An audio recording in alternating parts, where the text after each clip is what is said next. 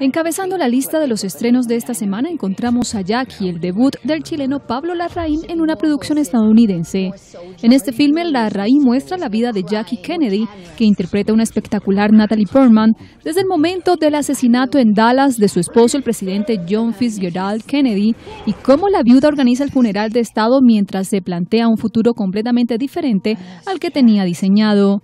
La cinta emplea una estructura a base de flashbacks, secuencias retrospectivas, usando el blanco y negro para simular las entrevistas en televisión y unas pocas imágenes reales del entierro de Kennedy. Se estrenan los títulos de terror Incarnate y The Eyes of My Mother.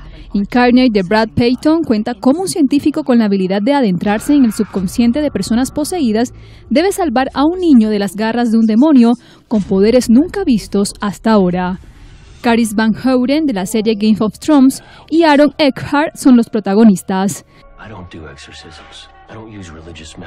The Eye My Mother de Nicolas Pesse narra el dolor de una mujer joven y solitaria consumida por sus oscuros deseos tras una terrible tragedia que rompe la tranquilidad de su vida en el campo.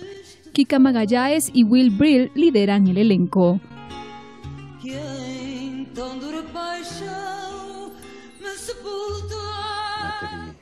Por último, el drama Since to Come de Mia Hansen Love cuenta cómo una profesora de filosofía afronta la muerte de su madre y la pérdida de su puesto de trabajo, al mismo tiempo mientras trata de asumir que su esposo le está haciendo infiel.